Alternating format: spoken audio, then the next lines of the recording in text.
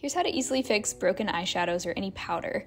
So you're gonna wanna put the shadow into a ramekin or container, bowl, crush it up into a finely milled powder.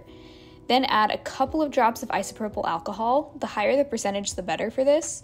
Mix that together until it forms a paste. Then you're gonna put that back into the pan and press out as much of that alcohol as you can with a paper towel. I had two broken eyeshadows, so I'm doing the same with both.